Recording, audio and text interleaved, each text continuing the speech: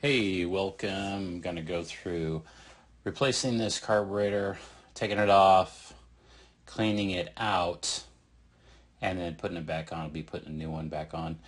Okay, that's just taking the top cover off there. It's just three 10 millimeter bolts. Then the gas tank comes off along with that. And I'll be taking off this plastic cover piece. It's got that gasket right there. It goes plastic cover, gasket be mindful of those little uh, cylindrical pieces that uh, go between the plastic and the bolt, those two bolts. All right, so we got uh, the governor plate, bolt, the two big bolts out. Be mindful of the gasket stacks that are there between all of the, you know, between everything else. So a lot of stuff there. Just be mindful of that. What I'm going to do here, prying out, that I'm just popping out that fuel line and then pulling this carburetor out. Here's the choke link that goes to the uh, black uh, actuator on the top there. Those kind of got jammed because of the little S uh, bends that are in the links. And then I took the governor link off. Be also mindful of the uh, spring that goes on the same, uh, pretty much the same spot that the governor link goes to. The spring goes in the hole closest to the engine block. Now I'm taking the uh, carburetor bowl off there. I took the governor or the uh, carburetor drain plug out and then I dumped it back in the gas tank. Probably shouldn't have done that could have been contaminated. It actually had a little bit of contamination, but not much. Here's me taking off the float, the needle, looking at the main jet down there. It's important to get, uh, you know, the right size flathead screwdriver to take that out. So you don't want to booger up the walls or the threads of the uh, interior, that hole there. So get a screwdriver down in there. Somebody had this out earlier. It was loose, so that's not good. And then I'm also taking that uh, plug out with a Phillips here in a minute. That was the emulsion tube and the main jet. Now I'm taking just a piece of electrical wire and kind of stripping it down to one or two little strands. I couldn't find my little wire, steel wire brush laying around real handy, so I just got this. And this emulsion tube looked pretty darn clean anyway, so I wasn't too worried about it. But I want to demonstrate how to get through to all these holes here. Sometimes when you have a surging condition in a Honda Honda engine, it's important that all these holes in the emulsion tube get cleaned out. Make sure they're clear. And let's see, one, two, three, four, five, six, seven, eight, nine. So that's like 18 little holes. So you got to poke all those out. Now go into the main jet. Here's the main jet, poking it through. All right, nice and clean. Eventually spray that off with some carb cleaner. Now I'm going to take this plug off. Don't ask me what that goes to. Like up underneath that plug, I'm taking the idle uh, adjustment screw out of there to get to that plug. This goes to some passages inside and uh, I just take it out and spray. I just spray all the holes out eventually and blow them out. So we got some uh, carburetor cleaner in there and getting all the holes. If you have a, uh, well this carburetor here has a metal seat down inside of that hole where the float needle and seat goes. If a carburetor has like a a rubber seat. I, I try not to squirt any uh, carburetor cleaner in there because it can expand the rubber seat and then the float will not uh, work properly. And here's me blowing out the main jet and the emulsion tube with compressed air.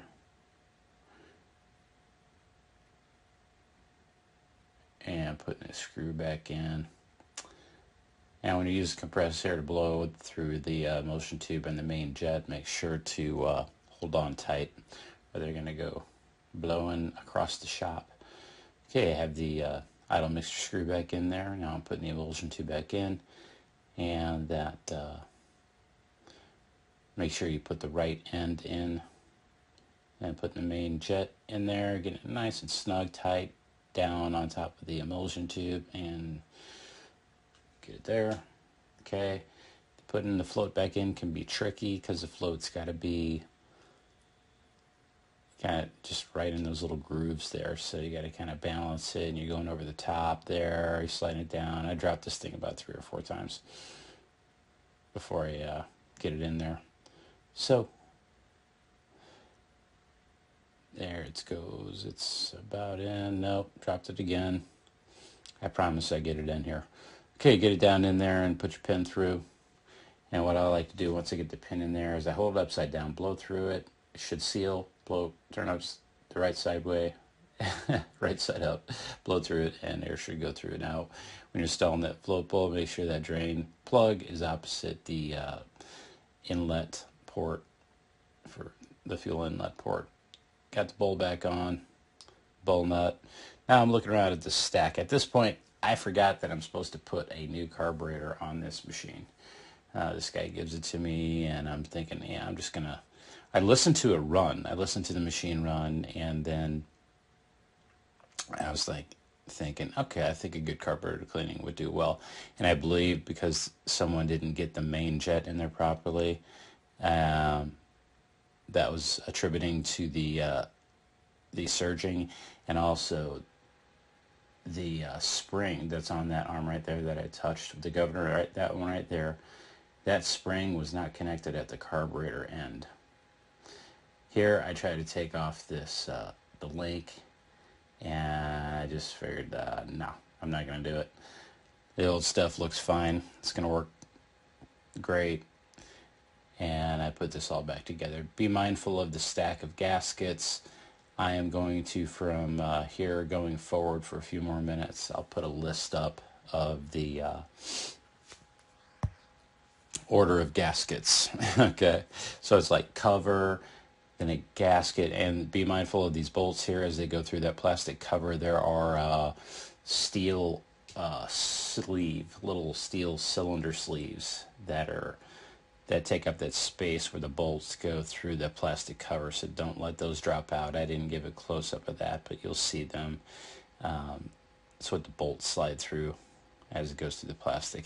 It's easy to put this thing upside on upside down or start to, but when you realize you you, got it on upside down and you it, it's just easier to see stuff because if you look just above uh, above my uh, left hand there, there's that extra plastic kind of piece that hangs over the carburetor. It just makes things difficult um, or a challenge when you're putting all this stuff back together. So it's plastic cover, gasket, the uh, governor plate, another gasket, the carburetor, another gasket, the uh, I don't know what it's called. It's like a spacer thing, um, heat sink deal, and then another gasket, and then eventually that's all sandwiched down. The bolts go through all of that stuff, and this is me trying to put the fuel line back on.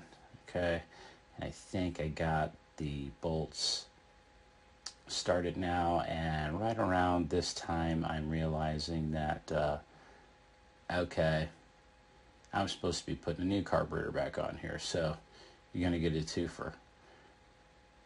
I'll be taking this back off, putting the new carburetor back on, and then uh, dorking around with uh,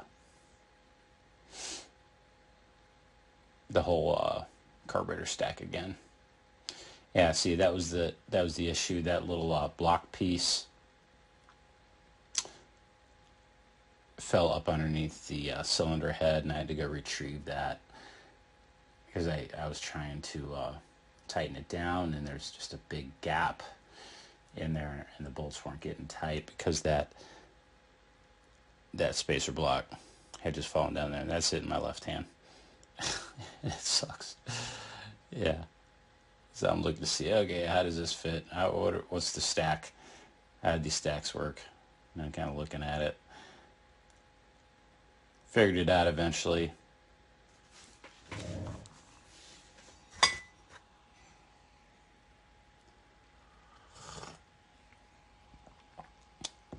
Top of the morning.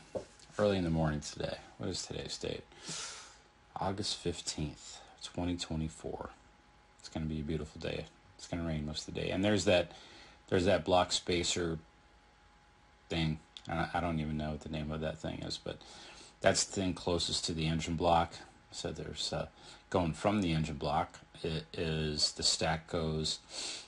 There's a uh, gasket, then that spacer block, and here's the vent to uh, atmosphere. I'm just making sure that that vent, air vent, uh, was uh, clear. Use a little screwdriver. Okay, so from the engine block, it's going outward. The stack is gasket, spacer block, gasket,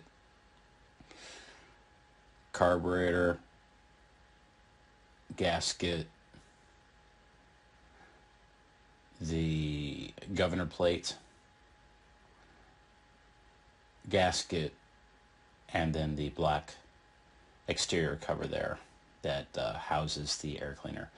All right, got things back together and putting these three 10 millimeter bolts on there. Make sure to not over tighten these bolts when you do. Sometimes the nuts will not come off of the studs and the studs on the engine block side will uh, will come out and that sucks. Okay, so getting ready to uh, fire it up and we'll be going to normal speed here in a second. And that's me putting the air cleaner back on. Let's have a listen.